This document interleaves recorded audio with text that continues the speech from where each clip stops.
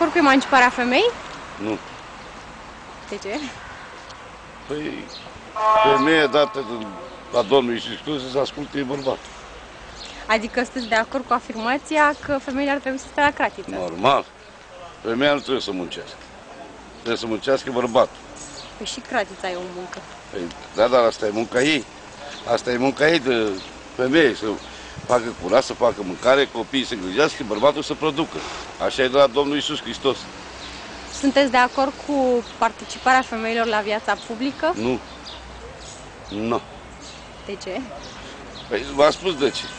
Așa. Așa, altceva. A, Ce pondere credeți că au femeile și bărbații în luarea unei decizii în cadrul unei familii?